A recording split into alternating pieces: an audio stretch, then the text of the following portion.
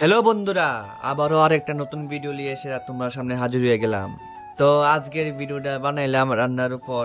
তো রান্নাটা হইল আজকে মাংসের উপর, বা কইতে পারো ইংলিশে পর্ক আর বাংলাতে কইতে গেলে হয়ে যাব গা শুকরের মাংস। তো এর আগে তোমরা রে জানাই দিই যে আমি হইলাম রান্না জগতে প্রথম, বা কইতে পারো রান্নার জগতে প্রথমবার ফাড়া দিছি তো মোটামুটি টুকটাক যাওয়াই জানি। সেটুকু নলেজ লয়ে সেটা আজকের ভিডিওটা বানাইলাম বা মাংসটা রান্না করলাম।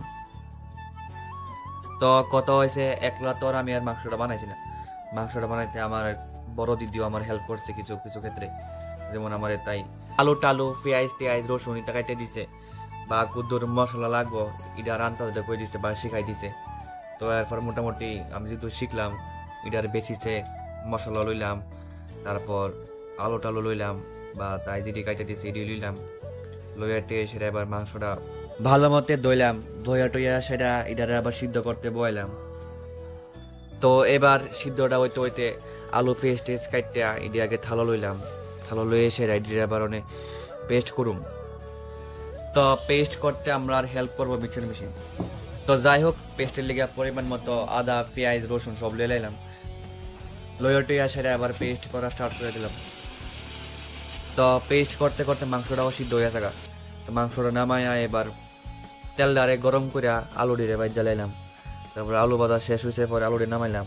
আলু আলুটি নামাই সেরা জিরা দইনা মরিচের পেস্টটা লগে লবণ, হলুদ, টি মশলা একটা প্লেটে লয়ে এলাম প্লেটে লয়ে টিয়ে সেরা এরপরে পেঁয়াজ সহ তেজপাতা বাজন শুরু করলাম। বাজারের সেরা যে মশলা দিয়ে একটা প্লেটে লইছিলাম বা এক লগে লইছিলাম, জিরা দইনা ইডি। ইডি সব টিরে আবার এক লগে ভাজন শুরু করলাম। তো এটি বাজতে বাজতে এটি আবার অন্যরকম একটা পেস্ট হয়ে থাকা পেস্টটা হওয়ার পর ওই পেস্টের উপর দিয়ে মাংসটি দিয়ে দিলাম। মাংসটি দিয়ে সেটা এবার জিদ্দুর ফারি দূর লাড়া দিলাম। তারপর লাড়া দিতে দিতে মাংসটা আর পেস্টটা একলগে মিক্স হওয়ার পর এটার মধ্যে পরিমাণ মতো জল ঢেলে দিলাম।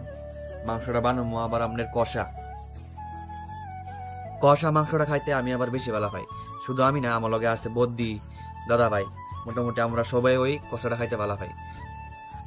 তো কষা মাংসের উপর লক্ষ্য রেখা কড়াইয়ের উপর থালটা দিয়া দশ থেকে পনেরো মিনিটের লিগে মাংসটা বয়ে রেখে দিলাম।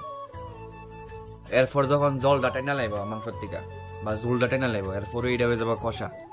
তখন খাইতে গা লাগবো বালা তো যাই হোক, দশ পনেরো মিনিট পর গিয়ে দিয়ে জলটা টানছে। কিছু কিছু কষার রূপ ধারণ করছে। তো এরপর কিছুক্ষণ এটা আবার লাড়ালাড়ি করলাম। তো এর কিছুক্ষণ পর ওইটার উপরে দিলাম গুঁড়া মশলা চিটকায় পরিমাণ মতো। ঠিক আছে? তো এরপর গুঁড়া মশলাটা দিয়া আবার কুদুর নাড়ানাড়ি করলাম। নাড়ানাড়ি করতে করতে আবার দু তিন মিনিটের আবার বোয়াইলাম বুয়াইতে বুয়াইতে বুয়াইতে বুয়াইতে ওই আপনার মাংস রেডি তো মোটামুটি ওই মাংসটা ভালোই সেন্ট মারতাছে। সেন্ট শুনে খিদে আর আটকাইতে পারলাম না। তো যাই হোক, এরপর চুলা টোলা পরিষ্কার করে ভাত খাইতে রেডি হয়ে গেলাম গা। তো মোটামুটি আমিও মাংস বানানো শিখে ভবিষ্যতে আরও অন্য কিছু বানান শিখুম, আস্তে আস্তে যেটার ভিডিও আইতে থাকব। তোমরা সাপোর্ট করলে আমি আরও রান্নার ভিডিও দিতে পারুম।